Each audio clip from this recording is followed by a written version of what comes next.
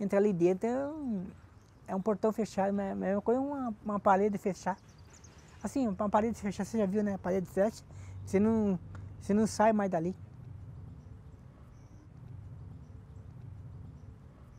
Porque antes você não tinha felicidade antes. Porque antes eu vivia num hospital.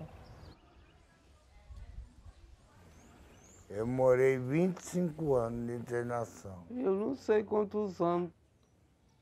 E teve alguma coisa que é difícil aqui de morar sozinho? Não, é, não. Não é difícil, não. Acende, acende aí. Isso.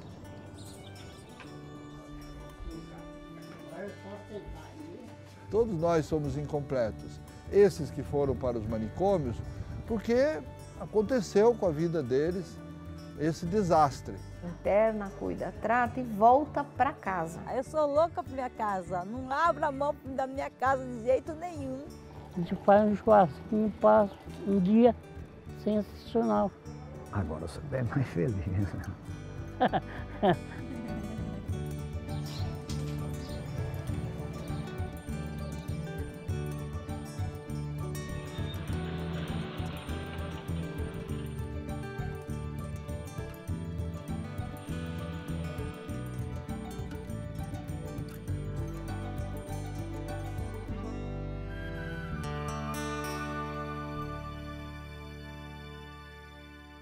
E você acha que tem gente que tem que morar no hospital? Tem nada, tem que Tem sair. gente que mora no hospital não sai?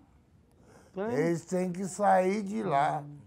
O hospital não é vida para eles, não. E eles não saem por quê?